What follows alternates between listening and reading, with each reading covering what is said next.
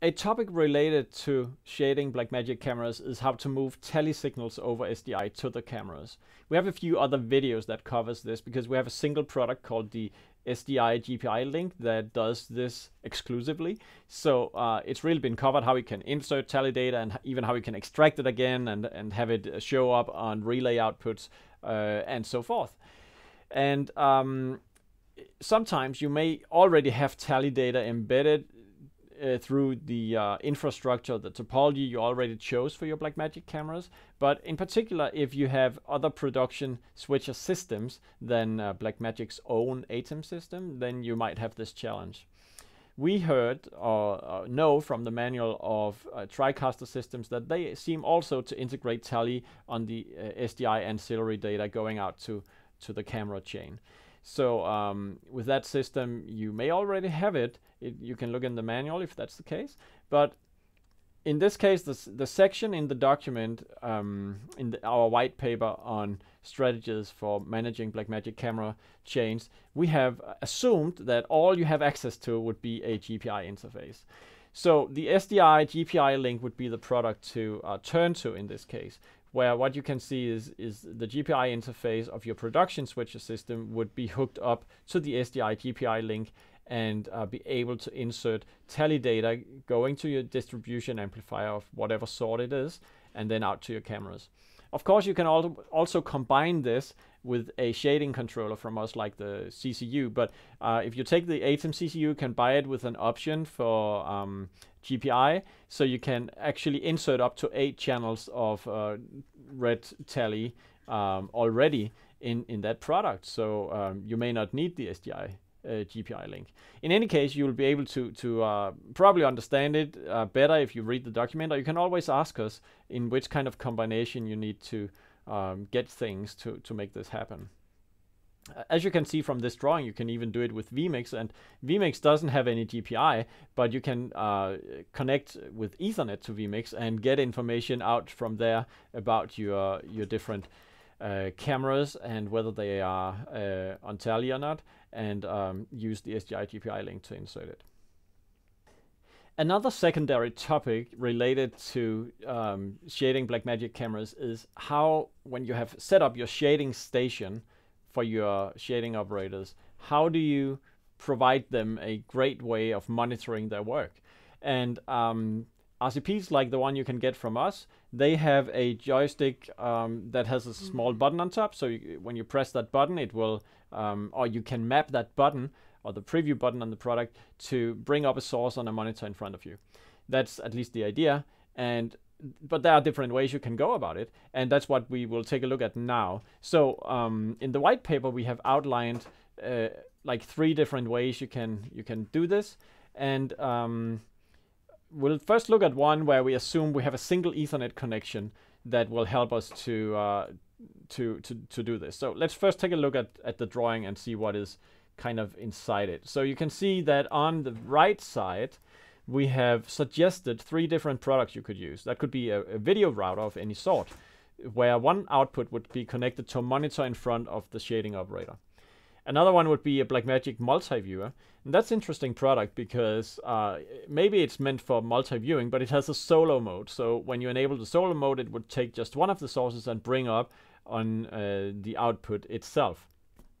And um, uh, so that's that's interesting too. And then finally, we have the ATEM switcher where you could use an auxiliary output, more or less like a video router, to uh, bring up a particular camera on the monitor for the CCU operator. All these devices would be um, characterized by um, that there would be a single Ethernet connection to this device to manage the um, uh, the routing for the monitor. So on the, the left side of the drawing, you see various SKAARHOJ products. So let's start from the bottom where you see the CCU, CCU Lite, which is a multi-camera controller. So here it's really easy because the, the controller itself would be connected to an ATEM switcher or use the SDI out to shade the cameras. And then it would also have a device core installed uh, associated with the camera selector buttons so when you press these buttons to select which camera you're shading, you're at the same time routing a source to the monitor in front of you. and thereby we have only a single device that connects with a single connection to video routers, multi-viewer, and ATEM switcher. In particular, the ATEM switcher has, uh, it's important that you only use a single client connection to that one to make this happen. Otherwise, you will get in trouble with the, because it has a limit on the number of connected clients it can, it can accept. Now, uh, there's also the option that you, uh, if you use an RCP for multi-camera control, which is kind of uh, unusual, but it's still possible. In particular, if you get the RCP with an encoder wheel. And uh, in that case, you have the same situation, single controller communicating with a single router. Now, if you have multiple RCPs, you have a different case because here you need every RCP's button to trigger something in relation to your monitor. And that's actually how it usually works in an OB van. So you'll find that you have this DB9 connector that goes on the um, Sony RCP, for instance, and that's hooked up to some kind of GPI box that will do the magic of bringing the source up on the monitor in front of you. And of course, you can do that with SKAARHOJ hardware exclusively. So we have the Ethernet GPI link box, which is our multi-purpose GPI product that will accept GPI triggers from uh, multiple RCPs, um, so uh, two wires for each, going into the Ethernet GPI link box that will then, on a single Ethernet connection, connect to your video router. And what it also has is a really clever way of, of managing the uh, inputs because we find that some people, they, they want, when you press the button, then it brings up the source and, and it stays there until you press the next button and that's the source that you see on the monitor. But you can also do it this way. When you press the button and you release it again, then uh, the source comes up when you hold it down and then the source goes back to program when you release.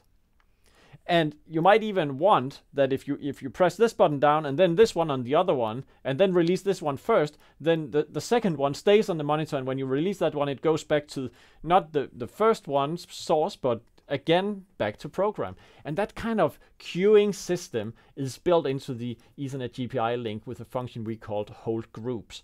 And that needs to know about every device that requests a source to be shown on the screen. So um, this is why it's, it's really great to have a single device doing this communication. And uh, that's what we are proposing here. I think all, all this information is also embedded in the text if you read the white paper. So you'll see somewhere in all this text that it's described. And if we look at how you could do this with multiple Ethernet connections, this is the case where you, you miss out on the hold groups functionality, for instance, because now each RCP would have a connection to the video router. But you could do that. So each RCP would connect to the video router over Ethernet, and it would then be associated with routing a particular input to a particular output. You could also set up that it falls back to a particular default input, like program, if you want, so that they would still perform correctly. But um, it again may depend on your video router because um, so far we, we don't see any problems with the uh, um, video routers from Blackmagic Design or the multi-viewer from Blackmagic Design in terms of how many clients you could have connected or if it was an AJA Kumo router. That's the same. You can connect like many many many clients but not with the ATEM switcher. So if you wanted to set that up to um, to use the auxiliary output on an ATEM switch, you're in trouble unless you use the ATEM proxy, of course, which you could. But still, um, probably the Ethernet GPI link box is the better choice.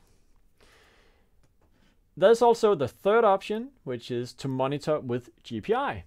So monitoring with GPI, um, again, the, if, if you look at the drawing here, we still have routers, multi-viewers, switches on the, the far right side, but we also included a product like the uh, DMON 12, what is it? CS? Ah, DMON 12S from Decimator that has GPI inputs and uh, will take all your, um, well, basically it is a multi-viewer. So it, it has a lot of SDI inputs that will create a grid for your multi-viewer. And then you can use the GPI triggers to bring some of these sources up in solo mode. And you can, of course, connect the GPI outputs of RCPs or uh, of a CCU from SKAARHOJ directly to the DMON 12S. Or of course you can still use the Ethernet GPI link, but the suggestion you see in the top of the drawing here is essentially uh, the same suggestion you saw in the in the first drawing.